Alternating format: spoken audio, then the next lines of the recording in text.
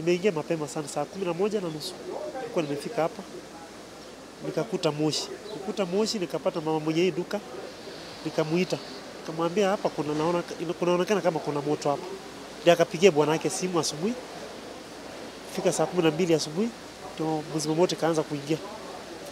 Chanzilisha cha hii moto ilikuwa stima. Kulikuwa na jamaa hapa ndani walikuwa wanachomelea hao watu wa welding. Wakati uliona moto imeanza, waka- wakachomoka wakatoroka.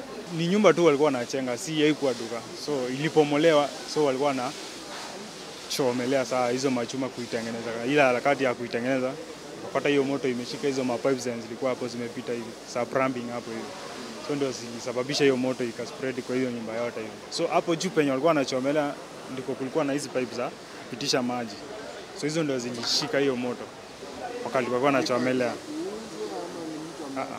Ni zilikuwa zime ziza plumbing tu zime zime zime zimewekwa hapo kwa kona hivi zinapitisha tu na transfer maji kwa hizi mabuilding zote hizi. Moto ni kama ilianzia usiku, lakini after kufungua biashara ndio tukaona moshi kidogo ikitokezea kwa neighbor, which ilikuwa inatokezea kwa Ivory Plumbing Shop.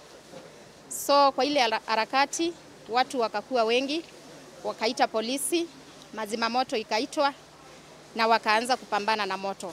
Bado wanaendelea kupambana na mali imepotea, ma, neighbor wetu amepoteza mali mingi, ameokoa kidogo, lakini moto bado inaendelea.